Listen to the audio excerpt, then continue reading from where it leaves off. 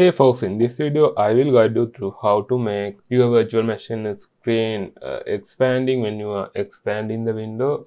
Let's say for example, uh, if I expand this uh, VirtualBox window, you can see it's not expanding this VirtualBox and also if you expand this to uh, monitor size, it's still showing the same small window and if I go to full screen mode. It's not switching to full screen mode as well. So so in this video i will show you how to fix that. So first of all go to devices and go to insert guest addition cd image. So after that uh, go to this uh, show all applications and open your ubuntu terminal and run the command sudo apt get update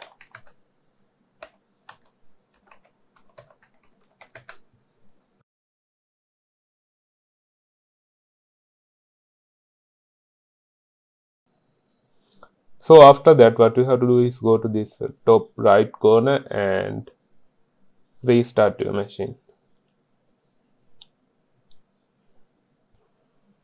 So after that uh, open your file manager and go to this uh, virtual guest addition cd so inside this drive right click and open terminal and run this uh, command auto, uh, dot slash autorun dot sh so after that it will uh, begin to install the guest additions software into your Ubuntu machine.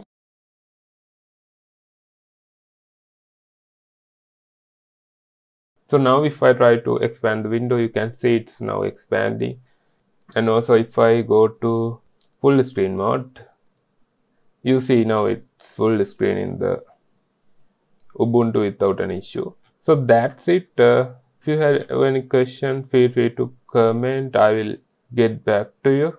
If you find this video is helpful, make sure to like the video and subscribe the channel. So see you in the next video.